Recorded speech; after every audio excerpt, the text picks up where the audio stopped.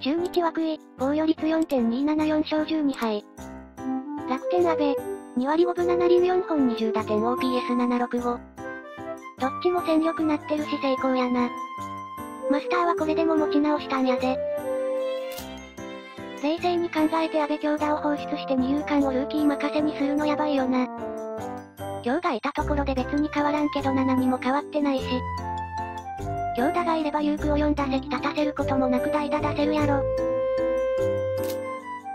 安倍は今最も中日に必要な選手だろ。安倍戻してきたなさすがや。パリーグに対応したな。打つ方はなんとかします。